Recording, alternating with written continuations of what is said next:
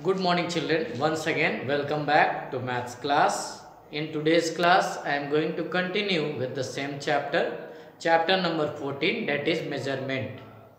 In the last class we have learned about measurement of length in addition, subtraction as well as word problem which I have already taught in the last class that is based on measurement of length. Now today we are going to learn about measurement of weight. Now let's move to the see measurement of weight. Suppose you have to measure the weight of something. Suppose we have to measure the weight of this chalk. So for this what we have to do we have to measure the weight of this chalk.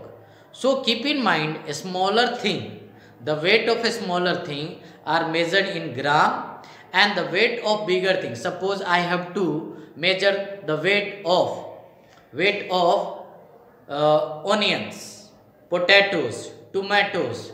That weight will be measured in kilogram. But if it is in less quantity if it is in less quantity it weight will be measured in gram also. But keep in mind a smaller thing are measured in gram and bigger bigger quantity. If the quantity is more that means it will be measured in what? Kg. And if quantity is less if quantity is less that means that will be measured in gram. So weight is measured either in gram or kg. And some other unit are also there that can also be used to measure the weight of any substance or substance or things now look here. I have written 1 kg. 1 kg. Kg means what? Kilogram. Kg means kilogram. And g means what? Gram.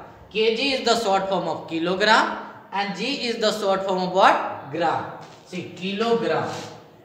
Kilogram. This can be written as kg. And this gram only gram can be written as g so the short form of kg is what? Uh, sorry the short form of kilogram is what? Kg. And the short form of gram is what? G. Now keep in mind 1 kg has how many gram? 1000 gram. So 1000 gram makes how many kg? 1 kg. Now 1 quintal equal to how many kg? 100 kg. This unit is also used to measure the weight of any things or what quantity of anything so these kg, gram, quintal and these are the unit which are used to measure the weight.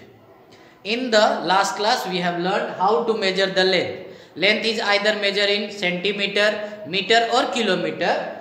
Just like this weight is measured in gram, kilogram as well as quintal. Now I am going to ask some question. See Suppose you have to measure the weight of eraser.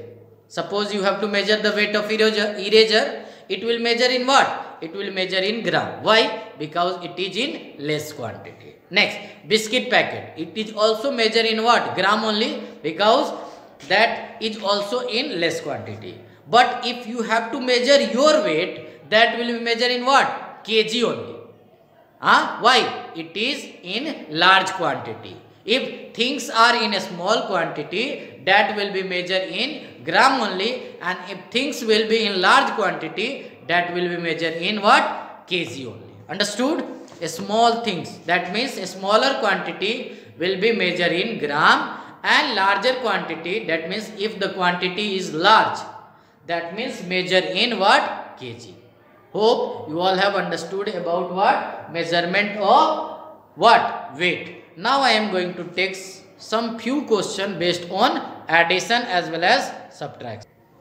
Okay now children we have learned addition and subtraction in the last class that is measurement of length. Just like that only we have to here also we have to do addition and subtraction that is based on measurement of what? Measurement of weight. Now I have taken one question based on addition and one question based on subtraction. Now let's do question number 1. See this is addition. You all have to add 55 kg 450 gram and 328 kg 700 gram.